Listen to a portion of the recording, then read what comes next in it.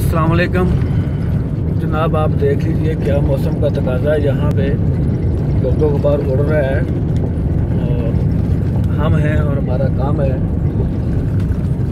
मोइन भाई चला रहे हैं गाड़ी। कासम भाई पीछे बैठे अभी जनाब बोला कुछ पैचिंग का ही काम। अरे जनाब गाड़ी में भी बैठेंगे तो पैचिंग ही करते रहते हैं। गाड़ी में पैचिंग करनी है क्या? बस क्या करें जी काम अब यही हो सकता है गाड़ी हमारी गाड़ी के अंदर और क्या मिल सकता है? पैचिंग ये देखें यहाँ पे भी पैचिंग पड़ा हुआ है यहाँ पे भी पड़ा हुआ है। पीछे देखें जनाब वाला मशीन पड़ी हुई है। पड़ा हुआ है। तो आपका प्लस टू इक्कीस पूरा पड़ा हुआ है? अभी जी हाथ में भी लेके बैठे हुए हैं पैचिंग की। जाना और जनाब बोला गेट गेट एच। पे जाना जनाब। और हम इस वक्त का जनाब वादुल शमाल प्रोजेक्ट है। ये सीधा जाऊँ या आपको अभी तक तो बिल्कुल ऐसे ही जनाब वाला भाई तो जनाब ये हमारे मोइन भाई हैं वो कह रहे हैं गेट एच किधर है? उनको आज बताया है पता चल गया हमें। ये जनाब वाला लोकल कम्युनिकेशन का टावर है यहाँ पे एस का है। और ये हमारा ऑफ़ रोड है ये कंपनी का कैंप है।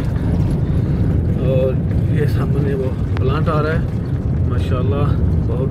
ये दुनिया का सबसे बड़ा फास्फेट प्रोडक्शन के हवाले से ये प्लांट है। जनाब ये और इसी के अंदर ही हम जा रहे हैं ये इसकी तीन बड़ी बड़ी रिएक्टर चिमनीज हैं।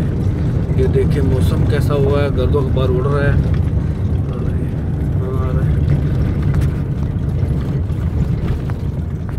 चल रहे हैं।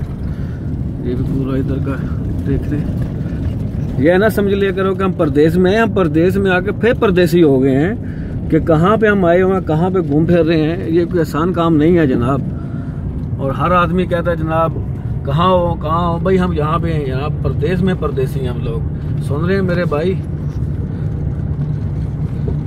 अपना ख्याल रखिएगा जनाब।